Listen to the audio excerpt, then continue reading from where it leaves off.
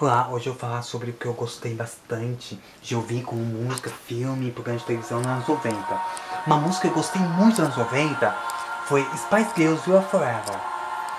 Que em 1998 eu fiquei impressionado com essa música, achei ela linda, maravilhosa. Quando eu via tocando na rádio, eu falei, nossa, que música linda, mas que música emocionante. Eu ouvia assim, falei, nossa, não é tão triste, mas é muito linda. Às vezes é muito triste, mas às vezes também não achava triste. E foi, eu acho que em 97, 98 eu comecei a querer realmente aprender a cantar músicas estrangeiras mesmo. E uma das músicas que mais dá vontade de cantar as músicas estrangeiras, porque eu já gostava de música estrangeira, mas essa música fez eu ter muito mais vontade de cantar música estrangeira. De querer. E eu cantava, só que eu queria saber cantar ela do começo ao fim, queria cantar muito bem ainda. E ficar impressionado quando eu vi essa música na rádio no JVC do meu pai, assim, no quarto dele. Ai, nossa, muito Ele não deixava muito ouvir a rádio dele, mas era difícil tocar rádio, mas eu comecei com Walkman. Se bem que antes também ouvia um pouco a outra rádio, mas ouvia bastante rádio, mas com outra rádio, que deixa, meu pai deixava a rádio pequena. A rádio grande ele não deixava escutar, mas às vezes até escutava. Mas com Walkman, às vezes, às vezes com a radinho, que depois comecei a ouvir bastante, bem que antes já ouvia bastante 97. Já ouvia bastante radinho pequeno na Band Andai, mas a Tia Dance também comecei a ver bastante. E eu fiquei impressionado quando tocou na oficina do meu pai, assim, radião assim, preso, assim. Falei, nossa, que música linda demais. Ah, uh, uh.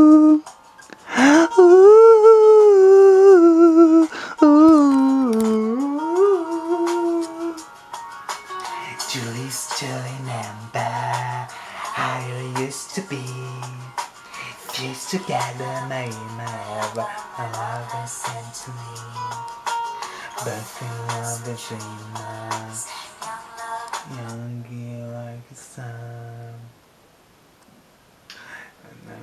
Hasta mañana, always be mine. Oh, be back forever, I believe. Everlasting, like the sun. Live forever for the moments. Oh, every the world. Oh, é muito lindo, meu Deus. Oh, colocar outra música. Vamos cantar só o refrão aqui, pra ver aqui.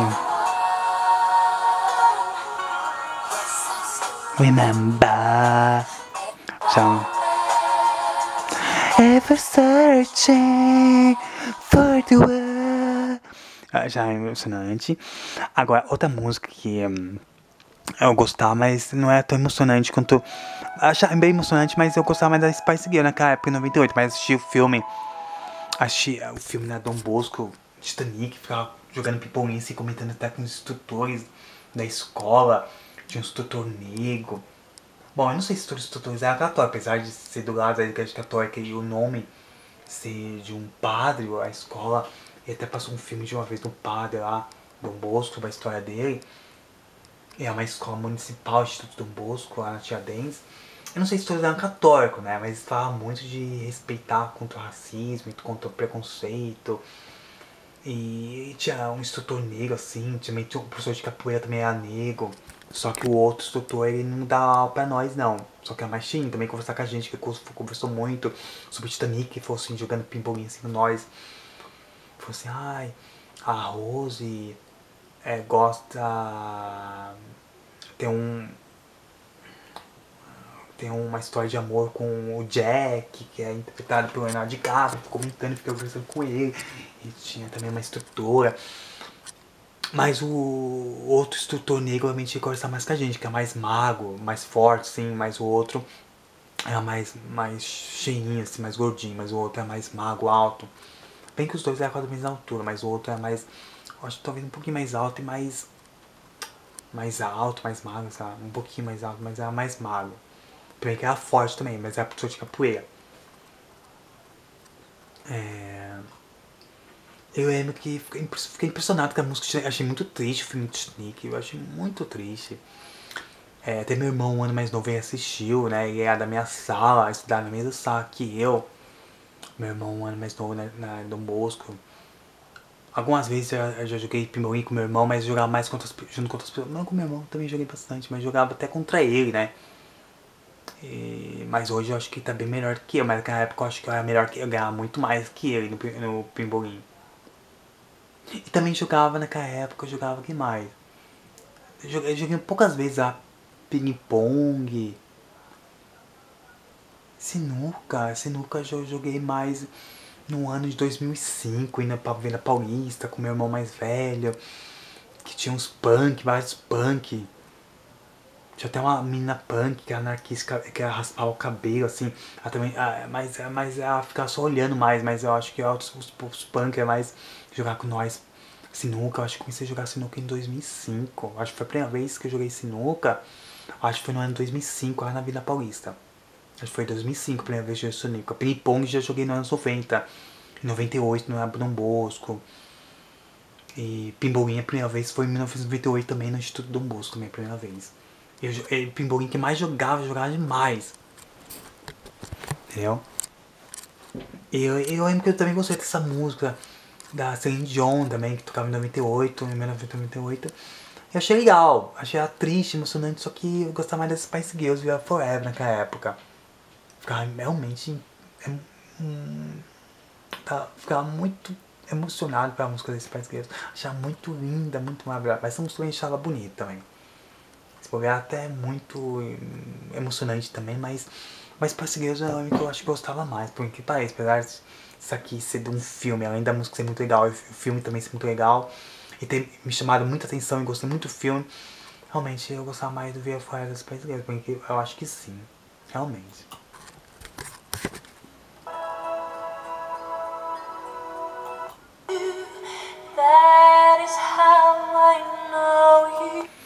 Em 1998 eu comprava é, pirulito da Spice Girls, que vinha com adesivo, vários adesivos diferentes.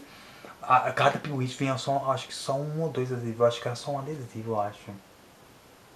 Mas eu comprei mais de uma vez o pirulito lá na, no Bosco, lá, uma, uma lojinha de doce assim, biscoito, pirulito, bala, bolacha, lá perto da escola. Mas é que eu ia falar mas em 1990 foi a primeira vez que comprei uma revista da Spice Girls. E lá em Cachopaíça, no interior de São Paulo, também comprei uh, uh, outra revista da Spice Girls, em 1999. Mas quem comprou dessa vez não fui eu que fui na banca. Acho que foi meu irmão, mais, um ano mais novo, minha mãe que comprou pra mim, entregar pra mim ó, que é a revista que você queria. Algo assim, ó, toma a revista dela, algo assim, uma, uh, sei lá, que você gosta, okay. Eu lembro que eu gostava muito das fotos das Spice Girls. É, eu achava impressionante as fotos assim, da Baby Spice. Da Ginger Spice, da Jerry Harrell. Eu gostava da. Até Sport Spice eu achava legal até. E no ano 2014 anos eu comprei um pôster da Mel C, a Sport Spice, a esportiva, apimentada. Eu comprei uma revista, só que ela de cabelo olho e tingido e cabelo curto. E tinha uma mulher tocando guitarra com ela, assim, no pôster. Eu lembro que até minha irmã, ela, ela, naquela época ela tava mais ou menos um pouquinho. Ela morava em Cachorro Paulista, só que ela veio um pouquinho em São Paulo, ela viu, assim. Não, acho que ela já tinha mudado, acho que depois daquilo ela nem, nunca mais foi pra Cachorro Paulista, pra verdade. Acho que era, não era em 2000, não, acho que é 2001 já. Sim, ah, acho que não era 2001. Acho que ela foi depois no Lancaster Paulista. Até eu fui um pouco no final. Porque eu acho que a última vez que minha irmã foi em Paulista foi em, em janeiro de 2001. Acho que foi a última vez. Ou des, não, 2001 ela nunca mais foi lá. Acho que a última vez que ela foi lá foi dezembro de ano 2000. Eu que fui em janeiro de 2001 que foi a última vez. Se bem que ela ficou mais, bem mais tempo que eu. Porque fiquei mais, mais tempo aqui em São Paulo. Mas eu tô falando que apesar dela ter ficado muito mais tempo que eu acho por isso que eu moro, fico morando muito mais tempo do que eu, é, é, ela veio, ela, ela, ela, ela veio, ela deixou de ir pra lá bem é um pouco antes. Apesar de ter ficado muito tempo, muito mais tempo lá, Eu fiquei muito mais tempo depois em São Paulo, lá pra fevereiro, março, abril, maio, junho, julho, agosto, tempo. Ela ficou muito mais tempo lá do que eu. Em Caninhas, Cachapoís, bem Caninhas, mundo ficou pouco tempo. Eu fiquei só uns quatro dias. Eles ficaram talvez uns dois meses lá em Caninhas. Cachapoís, eles ficaram, acho que, quase um. mais de um ano e meio. Eu fiquei só um ano e um ano e um mês, algo assim. Eles ficaram, acho que quase dois anos, eu acho, né? Eu acho que eles. Mas mesmo assim, em janeiro de 2001, a Jennifer nunca, mais, nunca foi mais em 2001. Eu, eu fiquei só um pouquinho lá. Mas, portanto, ela ficou muito mais tempo morando lá. Mas, portanto, eu, ela veio. Ela, ela deixou de ir pra lá antes, né? Ela. Ela. Em dois, a última vez que ela foi lá não era nem do ano 2001. E eu em 2001 ainda tava lá, né? Bom, mas eu achei bonita essa música sem religião.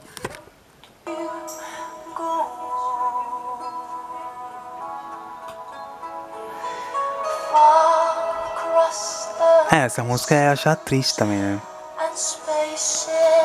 Outra música achava triste é a do rapper Puff Daddy. Em 1997, é muito, tá muito nas rádios, é, nas rádios essa música. Já muito triste essa música.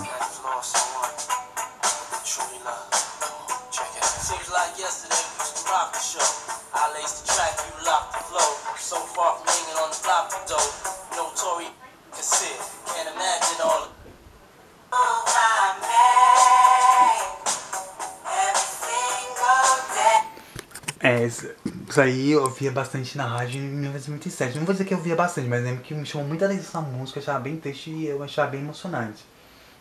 Mas outra música que eu conheci bem antes e achei, acho bem triste, bem emocionante. Não vou dizer que é mais triste que essa música, mas eu conheci bem antes e achava bem legal. Que tinha um, um, um livro, um livro bem bonito, cheio de imagem, fotografia. Não sei se era de, de eu não lembro que livro era esse. Mas era. Mas falava de. de matérias, de coisas de estudo, por exemplo. Falava. Eu acho que era um livro talvez de inglês, eu acho. Eu não lembro de quem que é esse livro. Mas eu, eu acho que não sei se era do meu pai.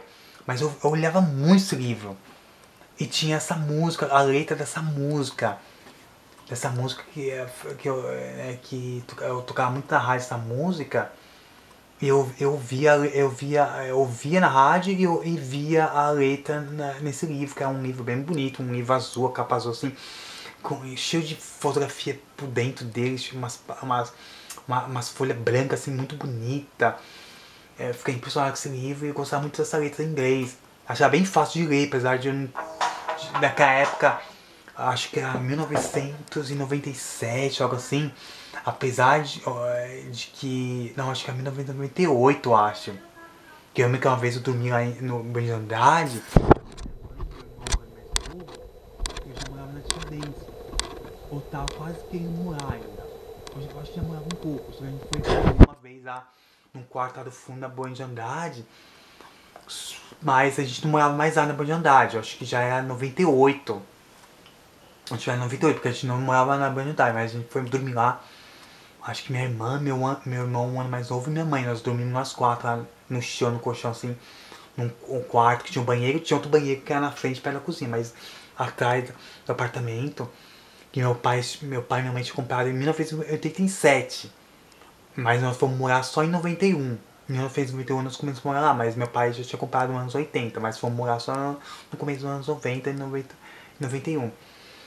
Aí em 98 nós deixamos de morar lá. Só que eh, nós fomos dormir lá, né? Mesmo assim. Meu pai não tava lá naquele dia, mas eu lembro que eu, eu, eu, eu levei junto esse livro, que tinha a letra dessa música, eu lembro que eu achava muito bonito esse, esse, livro, um livro bem novinho, bonito, cheiroso, assim, com a capa azul, não lembro se era tão cheiroso, mas era novinho a capa. A, a, capa, o livro, e na capa era azul, assim, com um desenho bem bonito, assim, por dentro tinha umas folhas brancas muito bonitas, cheio de fotografia.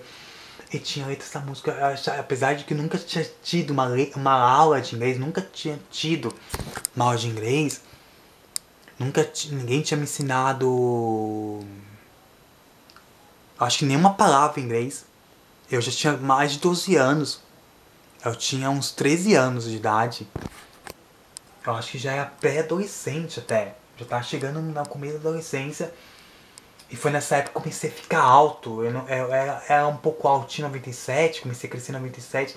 Já era um pouco altinho, só que em 98 já comecei a ficar um dos mais altos da escola. Até umas pessoas que eram mais altas, falou, nossa, tá ficando uma das pessoas mais altas da escola. Você ficou da altura